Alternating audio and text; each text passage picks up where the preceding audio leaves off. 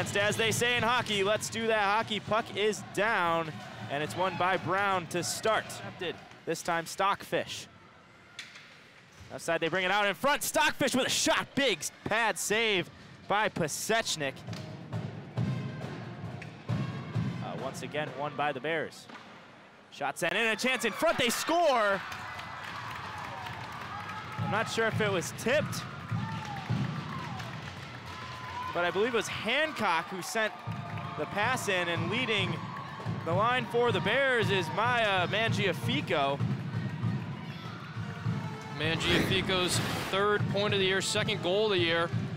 Face save by Klitschko. Markowski had the overtime game winner in the game against Harvard. Now Hanson, a rip, it's tipped in front. They score. Kirsten McQuigg. And we have a tie game with 4.13 to go in the first. Shot sent in by Olivia Hanson from the left point. And McQuigg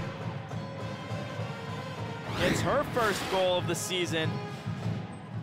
Yeah, McQuigg, beautiful tip in front from a shot from the point and just deflected a right past Klitschko. Nothing that Klitschko could have done there. That was just a beautiful redirection. So just a few minutes after the first goal from Brown, a comeback goal from the Knights, and we have a tie game. First period, both came up unsuccessful. The, the Knights will possess first. Win at the blue line. Left for Gosling. Back right side, Lonergan. Gosling with a shot, she scores! Nicole Gosling on the power play, and she gives the Knights the lead 14.05 to go in the second on the Knights' 20th shot. It's Gosling from Lonergan, a power play goal. A beautiful power play goal, 16 seconds into the power play, and just great passing by the Knights right up towards the point. Again, that cycle between Lonergan, Winn, and Gosling Lonergan sent the shot off a body. Deflection came back to Gosling. She sent it short side and got her power play goal tonight. Back check by Stockfish. Here comes Maloney with speed, gets past McQuigg.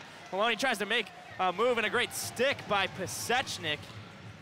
As Maloney unable does a good job to win that back. Now David here on the right side drops off for Lonergan. Back up top, win. Left side, Gosling with time sent in front tip and a chance for Goodwin. Another second chance, it's loose in front, they score. I couldn't tell who it was. I, David was one of the ones in front as well as Goodwin. We'll see who leads the line down. It's gonna be Jenna Goodwin. So Goodwin with her fifth goal of the season. And it gives the Knights a 3-1 lead. Chaos in front of the net as the puck was loose. A few shots off and Goodwin is able to finish it there along the left side, beats yeah, Klitschko. Tough rebound to give up. Hanson right side for Winn.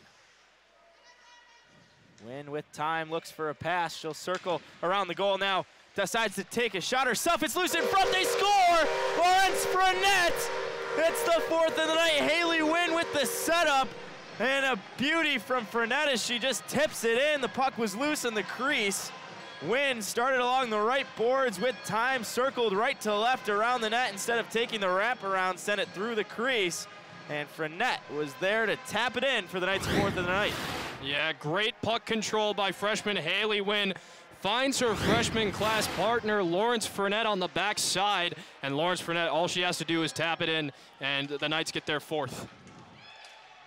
Looks like Cherkowski's going to take the draw here. And it's one down by the Golden Knights. Sends a pass right side. Intended for Helgeson. It's intercepted. Here come the Bears. Backside pass, a shot. What a save made by Pasiechnyk. A second chance effort. And another save by Pasiechnyk. Tried to find got it, but lost briefly to Forrest. Now back on it is Schuler. Here's Gosling with a wrister in front. Lessard has a chance in front. And a goal from Schuler. The puck was loose in front of Klitschko for quite a time, and Schuler comes in and buries it home, beats Klitschko on the right side with 4.21 remaining in the third. So the fifth goal of the night for the Golden Knights. And a great presence of mind from both Florence Lessard and Christina Schuler right in front of net, just trying to poke that puck past Klitschko. And they do successfully. Christina Schuler now with her third goal of the year. Five seconds to go as Hanson on the puck looks up ice. She'll send one as it's intercepted. And the buzzer sounds. That will do it for tonight's contest. The Golden Knights are victorious 5 to 1 over the Brown Bears. Again, Clarkson now advances to 12 1 and 2 on the season, seven straight victories. Brown 1 7 and 2 after the loss tonight. So Jake we're here with Coach Desrosiers. Coach, great win tonight. What do you think was one of the keys that propelled you and your team to victory? Uh, to be honest with you, I think we got better as the game went on. You know, like I wasn't really happy with the first period the way we played, but uh, we kind of settled in in that third period. We started getting our feet moving a little bit there, a little bit more, and uh, really didn't give them too many opportunities in the uh, defensive zone. Yeah, so as you mentioned, you guys went into the first intermission tied. What do you think was the mentality shift that got you guys to score another four goals before the game ended? Yeah, no, we just talked about getting back to playing our game. First period, we weren't, uh, you know, they were out competing us. Um, you know, we were a little soft on things, a little sloppy with our play. So it's just a matter of just getting back to the basics, playing our game, and just kind of upping our compete level. Yeah, and uh, multiple goal scorers again tonight. You guys have a great offense. What do you credit that to? Yeah, I'm just really happy with the depth we have on this team right now. Like you said, we're getting contributions from a lot of players, and it's not just you know one line or one player that's doing the damage for us. Uh, uh, you know, we're getting it throughout the whole entire lineup, and we're going to need that down the stretch for sure. Yeah. And looking to tomorrow night, you guys are facing the Yale Bulldogs, and they've been really competitive as of late, shutting out both Cornell and Colgate. What are you guys looking to do to, them tomorrow night? Yeah, it's going to be a good game tomorrow night. We're definitely going to have to show up right from the drop of the puck. You know, they're pretty. Uh, they're showing that they're a pretty dynamic team. They're scoring a lot of goals, and obviously they're keeping them out of their net too. So uh, we're going to have our hands full tomorrow for sure. So we're going to have to get some good rest tonight and uh, come prepared for tomorrow. Awesome. Thanks, Coach. Congrats, and we'll see you tomorrow. All right, thank you. Thank you. So we're back here with Haley Winn. Haley, two assists tonight and a great victory. Uh, walk me through that last play with uh, Laurence Frenette. That was a great goal. Thank you. Yeah, I mean, I just was looking for the shot in the shooting lane, and it wasn't there, so I just held on to it, went around the net, and Lois pretty open back door, and she had a nice tap in, so it's a good roommate connection. And again, you guys, five goals again tonight. That's your third uh, five goal game in the last three games. What do you think is the key to the offense to keep moving forward? Yeah, I think we're playing really well, playing with speed, just getting pucks in and attacking. Our forecheck's really good right now, so just maintaining puck possession, and our forwards are doing a really good job of staying high, getting that front presence, and obviously contributing, scoring some goals. Awesome. And tomorrow night, again, you guys play Yale. Uh, is there anything you're looking forward to from that game? Because they're a very tough opponent.